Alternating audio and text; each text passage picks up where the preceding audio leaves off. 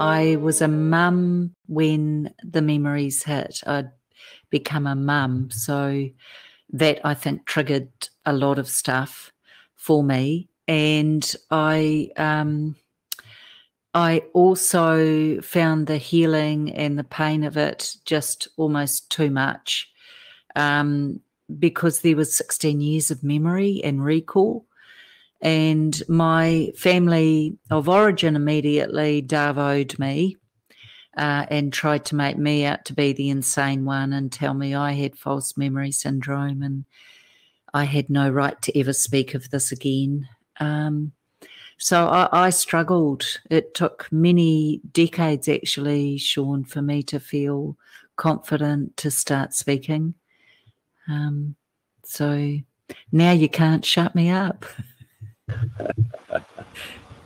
and so you've written a new book, basically the follow up to your story, which was on, on Angel's Wings with Flight Path to Healing. And that's really a, uh, counsels others, you know, other survivors, other victims of, of this abuse to, to step out of, I would say, ultimately victim psychology, right? That's really uh, the, the, the victimhood is how, as we know, the, a lot of the society perpetuates um, traumatization of all of us, right? Not just, not, you know, obviously there's sexual abuse and there's physical abuse, but there's verbal abuse and psychological abuse, as we know, right?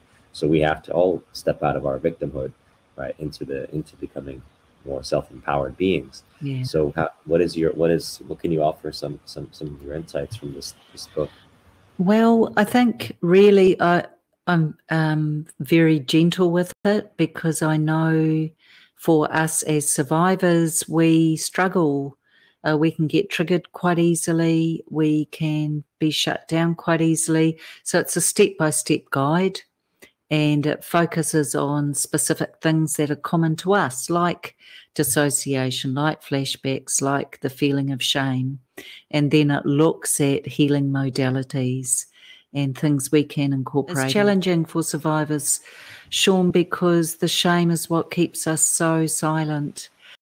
And mm-hmm. I'm not I'm not saying as survivors you have to tell someone. I'm saying that we have many ways of telling our story, and one could be through art, or one could be through martial arts, or one could be through writing poetry or telling a friend. But don't have it held in because it just destroys us. Lives are destroyed yes. by this. Mm. Yes, I think this is uh, self-expression and, and, and art is you know you can't spell heart without art. I mean, art is one of the tremendous powers oh. that we have, right, to find our creativity. If we're if we are going to self empower and take you know take our, our creative abilities back, uh, art yeah. is one of the, the, the, great mechanisms and ways of doing it with it, by sharing what's really within our within our hearts and our, our feelings and our and our memories and our our wounds, right, working through those wounds. Um, yeah. Were there anything any like you say any new feelings that arose in you? Did you were you able to find some level of forgiveness with your with your father? Or you know if he, he was passed on were you able to anyway like find some new forgiveness for your mother for example or just or for the situation and just seeing it in a new light or new perspective that came with with your healing? Yeah it's funny you say that. With my father i was adamant and so self-righteous i would never forgive him because of what he put me through. Um, it's unforgivable.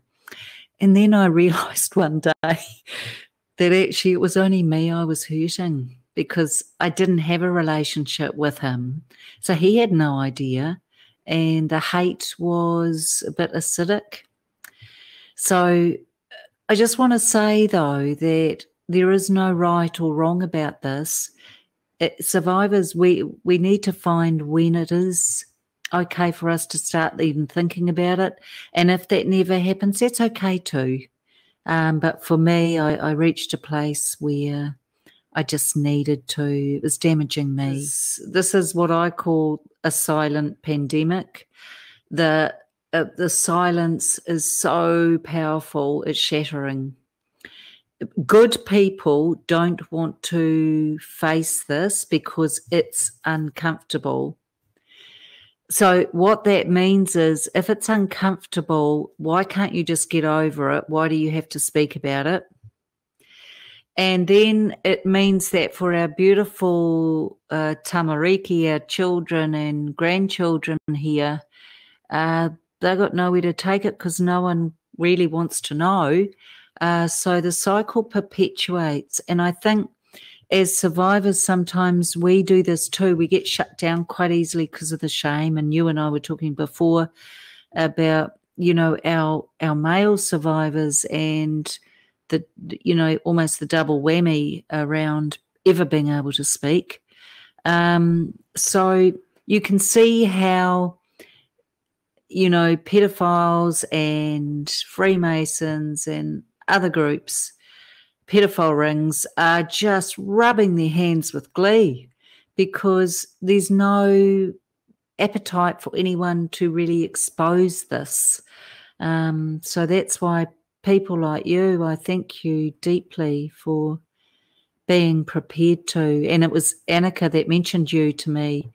Um, and I thought, oh, I'm going to reach out to Sean, say, help me expose this more.